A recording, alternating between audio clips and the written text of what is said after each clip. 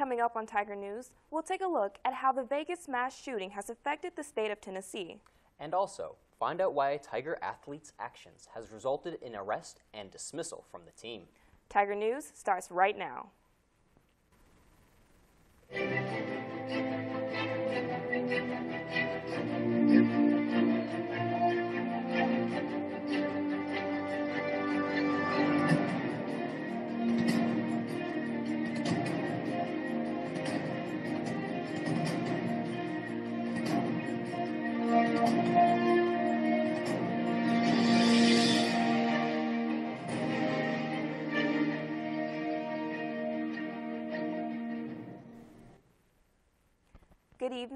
Welcome to Tiger News. I'm Deborah Noel.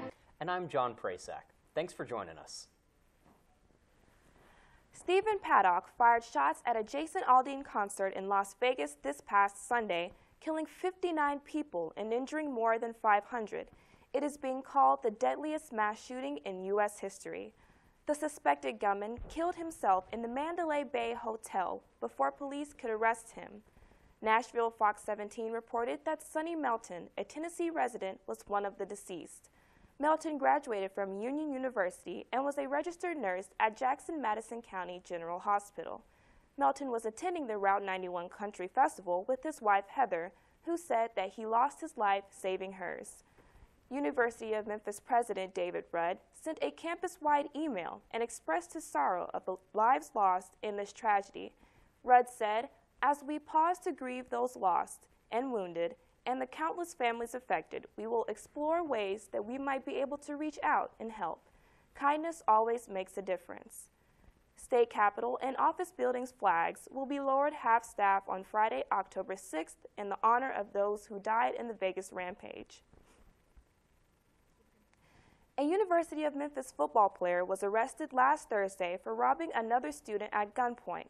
Sean Rupert, a senior safety, was charged with aggravated robbery and bold burglary and possession of a firearm to commit a dangerous felony.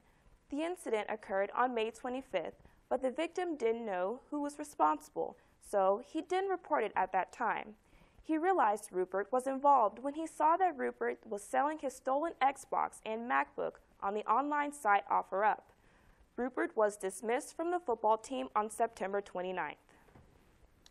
College parties are a part of some students' lifestyles, but gun violence at these gatherings has caused some U of M students to fear for their lives.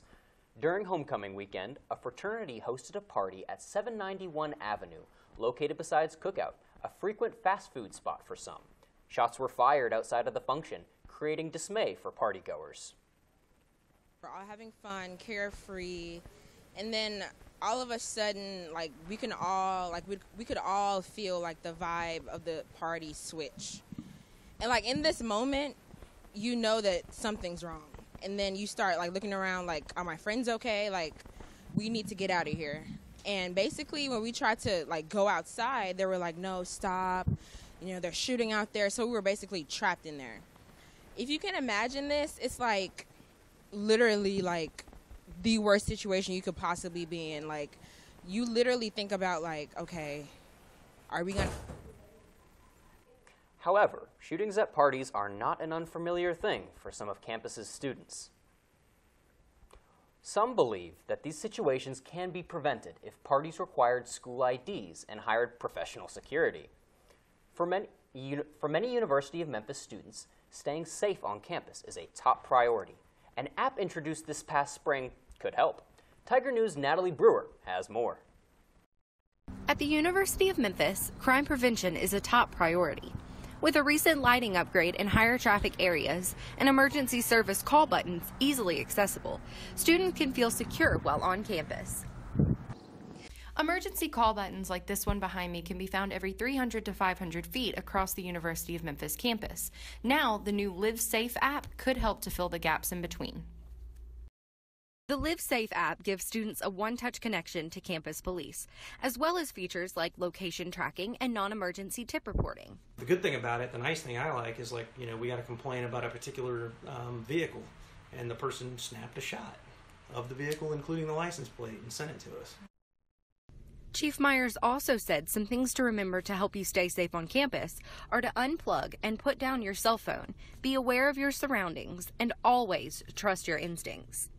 I have never personally felt unsafe, but I definitely wouldn't walk across campus at night by myself. I live across the train tracks, and I'm particularly stationed in the Gather. So I'll walk across campus uh, pretty much every single day, mm-hmm. and for my night classes, I have my boyfriend come pick me up. While improving campus security will always be a priority at the University of Memphis, it's important for students to exercise their common sense while walking across campus in the daytime or at night. The Live Safe app is available for download on the Google Play Store and on the App Store. Reporting for Tiger News, I'm Natalie Brewer. The Live Safe app also notifies students and faculty of any type of crime that occurs on or around campus.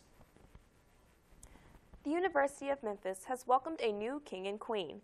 When we come back, find out who they are and how they feel about being campus royalty. Also find out the scoop on a local and unique ice cream shop that has become a popular spot for Memphians. And then from this angle, it all makes a star. I'm a teacher. Let me tell you what I make. I make learning a privilege, not a chore. Show up and frustration a tool, not an obstacle. I make working hard seem easy and giving up impossible. And then we're going to turn the lights and everybody look up. I make an old subject feel like a fresh thought. What's your reaction? Yeah. Yeah, exactly. And unconventional methods. Uh, okay, what else? Common this is their world. There's nothing. And then they die. Go ahead, go, go, go. I'm a teacher. I make more.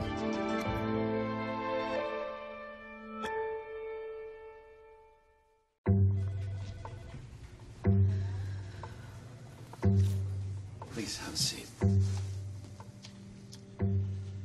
I'll be honest. Your resume not what I'm used to. I know.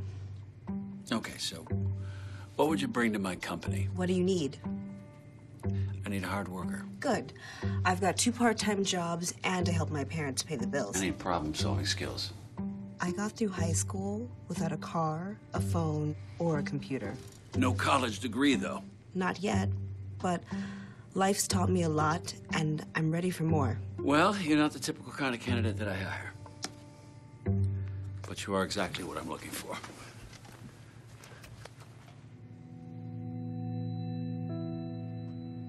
Your company could be missing out on the candidates it needs most. Learn how to find, cultivate, and train a great pool of untapped talent at gradsoflife.org. Long live the king and queen of campus. The U of M has welcomed their new Mr. and Miss U of M. 21 year old Matthew Bailey and 20 year old Abigail Huber took home the crowns this year. The Mr. and Miss Homecoming title is an annual tradition at the school and it honors students who are most committed to the campus and community. The crowning ceremony took place during the Tigers football game last Saturday. It was honestly surreal, and Maddie and I have talked. It still feels like a blur. Like it just seems like it happened so quickly. Just to be on that field with all the other finalists in front of everyone was huge, and uh, to hear my name just didn't even feel real, and it honestly still doesn't. It was kind of like there, like hugging me, and like like kind of like handing down the crown was like super awesome. In the next year of Regency, Huber and Bailey want to extend the homecoming title so that it is not just an award and they are currently planning a campus project together. Students sometimes find themselves looking for something sweet to eat, and the, and the addition of a local ice cream shop has helped soothe those cravings. Opening this past summer, the 901 Scoop has already attracted buzz around the Memphis area. Similar to most ice cream places, they offer multiple flavors and toppings to their product closest to campus. We do fresh milk base. We do everything fresh from order. We're the friendliest. We have the best vibe in the place. The lights are on, the music is going, and we're actually one of the only ice cream places that actually cater to students because we have a college night, which is on Tuesdays from 8 to 12. Along with catering to the campus crowd, they also separate themselves because they don't have the typical type of ice cream. They prepare the treats in front of customers and make it from a milk Well, base. definitely to come try out the, the whole rolled ice cream concept, um, which is a new trend of, uh, of ice ice cream, basically that originated in Thailand. Um, which um, I first saw it in Houston when I visited my granddad a couple years ago. Uh, which that's what we work on these cold surfaces over here. Uh, so we like make it from scratch. You know, we're, we uh, all the uh, the milk base we make from scratch. So the the whole concept is all natural, no preservatives, made fresh to order type deal. Um, so I mean, not to say it's a healthy ice cream, but it's a healthier option. The 901 Scoop is located on Walker Avenue and it offers a 10% discount to students who show their campus ID. And when we come back, we'll look at how the Grizzlies' open practice went. Well, Thomas, you've got prediabetes.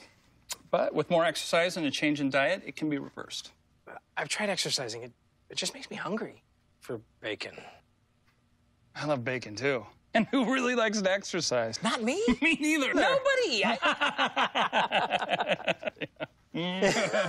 so we're good?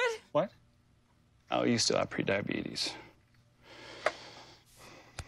Big time. Hey, look, it's those guys.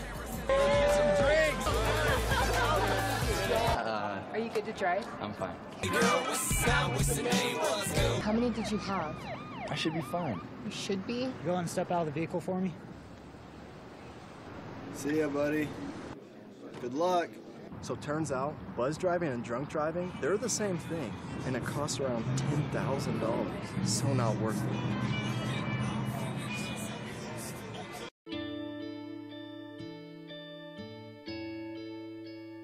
calls me googly eyes.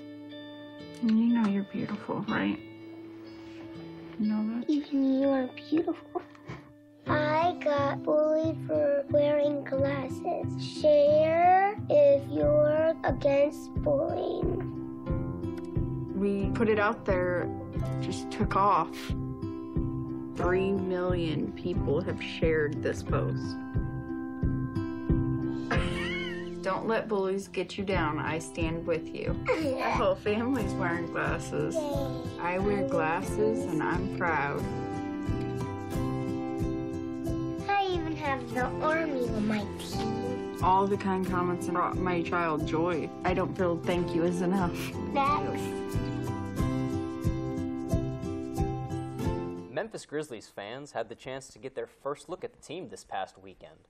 The Grizzlies held their annual open practice for fans last Saturday at the Landers Center in Southaven. Before the pros took the court, kids participated in a basketball clinic hosted by Grizzlies Youth Basketball. Here, the kids got to practice shooting, dribbling, drills, and more. Soon after, the Grizzlies came out and held a scrimmage where fans got to see new team members, like former Memphis Tiger Tyreke Evans. Fans also got to see familiar faces, like point guard Mike Conley, who can do it himself or lob it up to teammates like James Ennis for an alley oop.